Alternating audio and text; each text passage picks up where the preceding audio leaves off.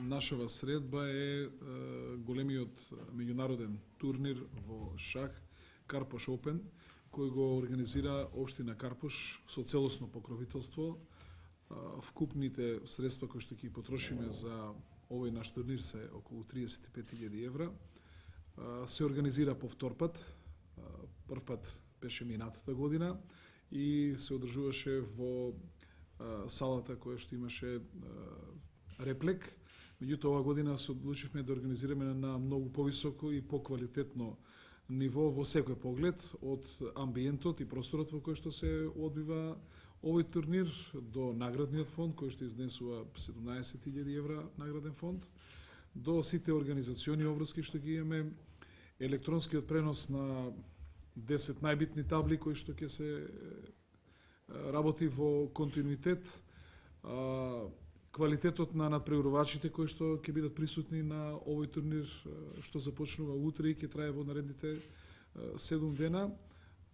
Одлуката падна да тоа биде во Александар Палас, да со селата логистика што може да ја даде Александар Палас за ваков меѓународен турнир. Ние сме навистина срекни што за сега од колку што сум информиран 18 федерации испратија своји представници своји шахисти, од кои што преку 30 имаме велемајстори и шахисти со висок рейтинг, што го прави овој турнир веројатно најквалитетниот турнир овде во Република Македонија. А бидејќи минатата година најавивме дека оваа година ќе биде најмалку три пати посилен турнир од колку предходната 2011 година, уште ова, уште од сега најавуваме дека наредната година ќе се потрудиме да турнирот на вистина добие уште повисоко место и посилен, да, да, влезе во посилен ранг, што се надевам дека веројатно ќе биде еден од најсилните турнири на Балканот. Сакаме овој турнир да биде традиционален, Карпо Шопен, кој што еве и ево пресред на великденските празници, веројатно во наредниот временски период и така ќе го крстиме како Велингински турнир Карпош Опен. Исто така би сакал да им заблагодарам на сите советнички групи во составот на Советот на Обштина Карпош, во кој што значи советниците и од Социјалдемократскиот сојуз и од ВМРО да помене и Либерално-демократската партија, ВМРО народни и независните советници кои што едногласно го поддржаа овој турнир, со кој што ние сакаме да го афирмираме шахот во Република Македонија, да дадеме еден потик, имавме убав пример кој што постарите генерации и нашата, еве да речеме, средовечна генерација го памти, ја памти Шаховската олимпијада. Се надеваме дека во наредните години ќе успееме да организираме некој турнир кој што ќе биде многу близко до квалитетот што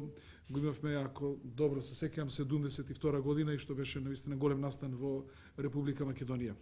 Јас сум навистина изненаден и од една друга работа, тоа е од ентузијазмот што го покажуваат нашите пријатели од шахот, поготово од